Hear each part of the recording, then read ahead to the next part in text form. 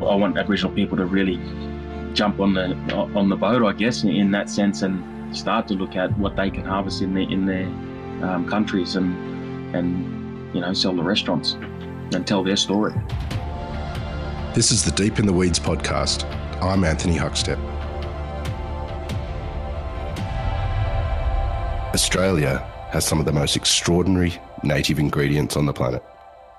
While the original holders of our land explored native ingredients for tens of thousands of years, acceptance of native ingredients has only been quite recent.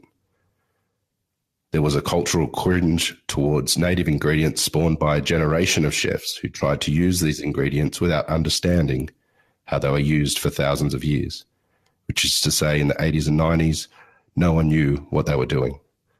But things have changed. Daniel Motlop is the co owner of Something Wild, Native Co., and Seven Seasons. Daniel, how are you going? Good, mate. How are you? I'm good. Thanks for joining us. We've got a lot to explore. Um, you've had um, multiple amazing careers, and at the moment, very, very much devoted to native ingredients and um, ac- across restaurants and for consumers. Um, but take us back to the early days when you were when you were a kid. What was food like for you growing up?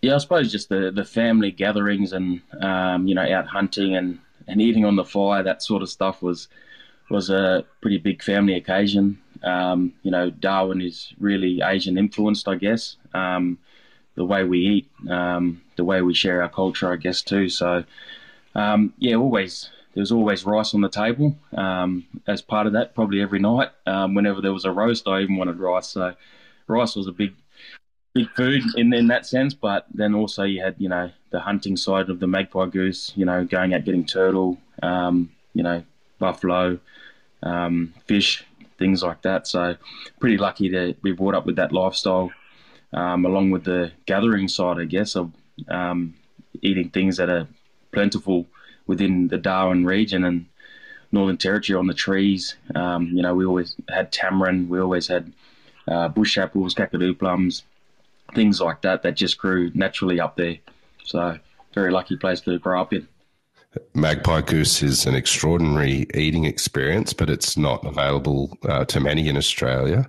And you just listed some incredible uh, native ingredients as well. What, what's what's your memories of being young and and um, seeing those being cooked and, and treated?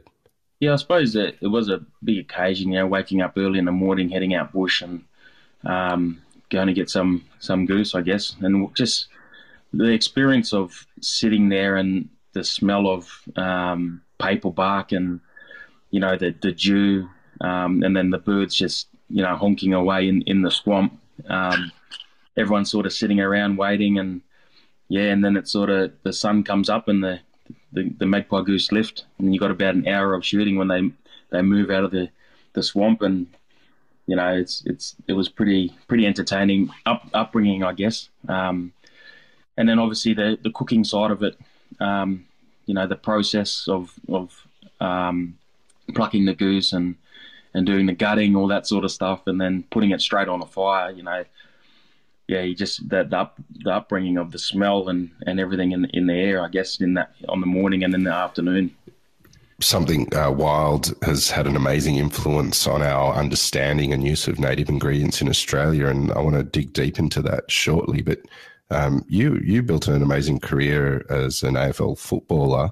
Um, tell us about that period of time uh, in your life and, and what impact it had on you. Yeah, I think it, it just gave me a, really good base to what I want to do um, in life. You know, you know, sometimes I wish I didn't do it, and I got into um, you know the food side earlier in, in life. Um, but um, you know, it was it was a great experience for where I am am now, um, and as you know, I wouldn't say successful, but I feel like I've, I've become successful in, in what I do because of that footy career and moving away from home at a, a, young age, and you know, Dad putting me on a plane and saying, if you want to make something of yourself, and then you have to go down, and move down south, and try get drafted, which I was lucky enough to do after six months, and in in living in Adelaide, and got drafted over to North Melbourne, and then Port Adelaide.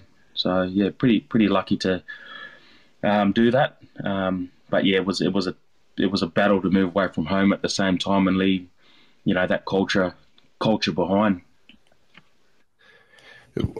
Well, tell us about that period and, and what it was like leaving that culture behind and immersing yourself in, in that football world. What were the challenges that you had? Yeah, I suppose that a lot of the challenge was um, the stereotype. I guess when I moved it because Darwin's so multicultural and um, you know there, there there's no racism. There's, everyone lives together and it's a it's a pretty different lifestyle, I guess, in that sense. Very respectful in everyone's culture. Um, you know, you had Greek people, you had Italians, you know, Asians, as I said before, um, and yeah, just very, very good upbringing uh, we had, and very lucky. And then moving down down south and being in a football environment that is, you know, very stereotypical, I guess, and um, in in who I was, and yeah, just trying to overcome that, I guess, and, and learn more about um, myself and and you know the lifestyle down south. You mentioned that you wish you got into the food industry earlier sometimes, um, but your influence has been incredible. In 2016, you and your father and brothers um, started something wild.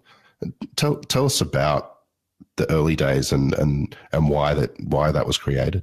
Yeah, I moved up to Darwin to, um, I suppose, over my whole footy career, everyone and all Darwin boys and Darwin families all talked about about selling magpie goose um, to restaurants. You know, we wondered why, how come no one, no one ever tried to do it. I guess, um, you know, what it's obviously a good source of food and um, it could provide an income for for communities. I guess if if Aboriginal people sold it. Um, and that was really the, the driving force of it. Um, you know, I went back to Darwin and become the chief minister's advisor after a few different jobs, trying to work out my lifestyle and where I wanted to be after footy.